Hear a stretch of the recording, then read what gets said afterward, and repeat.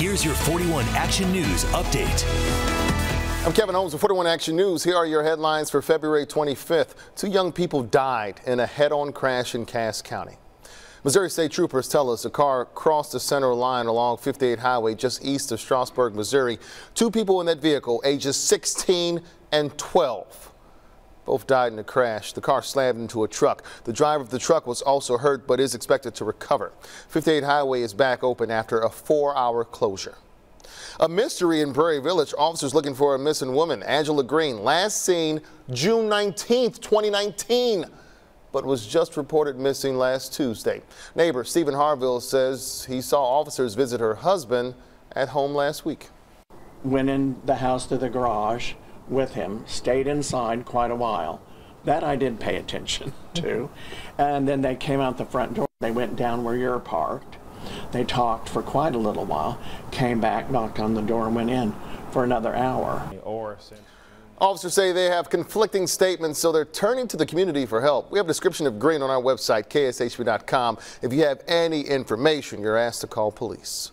More than a dozen applications to pardon marijuana convictions in Kansas City are arriving at the mayor's office. Mayor Quinton Lucas announced a plan to pardon those with marijuana convictions less than two weeks ago at his State of the City speech.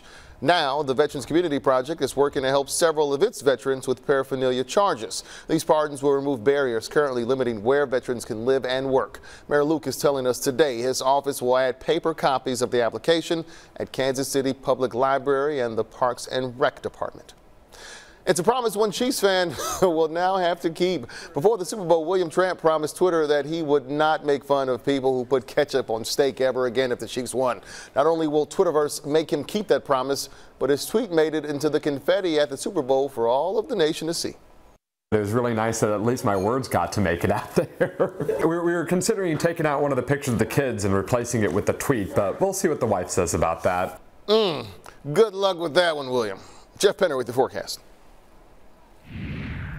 Thanks, Kevin. Tonight, 28 degrees, windy and cold. We'll have a few flurries and snow showers around. No major road issues. Snow more steady to the east. Warrensburg, Sedalia eastward could have about an inch of snow or so. And then as we go into Wednesday, 38 degrees, a few morning snow showers, then decreasing clouds and wind. And then on Thursday, 45, mostly cloudy, a sprinkle or a brief rain shower is possible. And then we will make a run at 70 degrees this weekend. You can get your news and weather anytime on KSHB.com.